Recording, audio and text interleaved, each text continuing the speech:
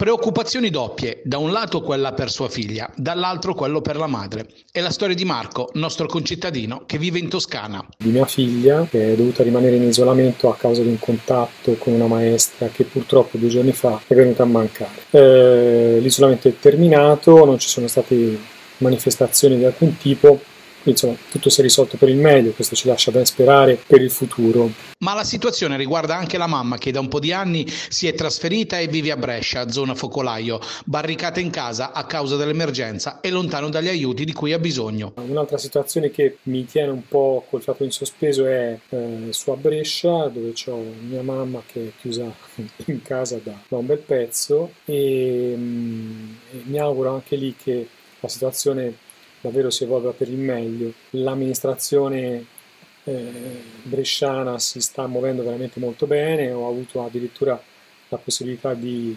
contattare o di essere contattato addirittura dall'assessore a riguardo di ehm, appunto delle iniziative per quanto riguarda la spesa portata a casa, dato che eh, chiaramente mamma non ha possibilità di, di muoversi, ma non che non abbia la possibilità ovviamente eh, mantiene l'impegno che ci stiamo assumendo tutti di restare in casa.